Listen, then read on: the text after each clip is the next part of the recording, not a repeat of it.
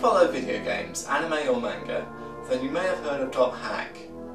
It seems to be a series without a fixed platform, more a mixture of story idea and some marketing than anything solid.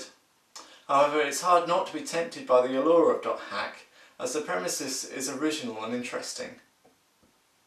Dot Hack is set in the near future and involves players of a fictional online game which is played wearing virtual reality headsets. Actually, now I think about it, that doesn't sound much like the near future and sounds more like some sort of weird alternate dimension where the Nintendo Virtual Boy actually took off. How the game is played doesn't actually affect the plot though, so it seems somewhat silly to nitpick. The plot of the original Dot Hack involved the game sending some of its players into comas, plus other mysterious occurrences that seemed out of the owner's control. The remaining players searched around trying to find out what was going on, whilst the moderators of the game tried to cover the events up. However, Legend of the Twilight is not actually part of the main arc, and is instead its own story that happens after the original events. It's also only three volumes long.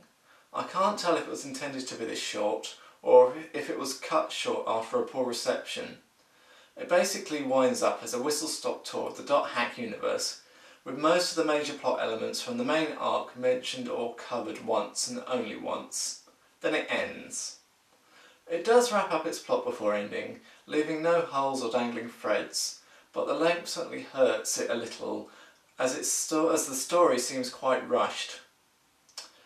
Interestingly, the two main leads appear identical to those of the original arc, are in fact different people. This is cleverly justified in the plot. They are being played by different people in real life. But the fact that all of the cast in Legend of the Twilight are new to us, combined with the short length of the book, means that the characters do not have much time to develop out of the genre cliches that they start out in. I felt that generally this manga shared the same catch-22 flaw that the video games and the anime had. It's okay and a nice read, but it's not good enough to stand alone and it's only worth checking out if you're already a fan of Dot Hack. But how do people become fans of Dot Hack if there's really no good title that pulls them in in the first place? As such, while Dot Hack is actually half decent, it's a weird property that I couldn't recommend it to anyone. Having said that, the original arc is actually being rewritten from a video game into a manga, and it's a lot longer than the three volumes. That might be worth keeping an eye out for.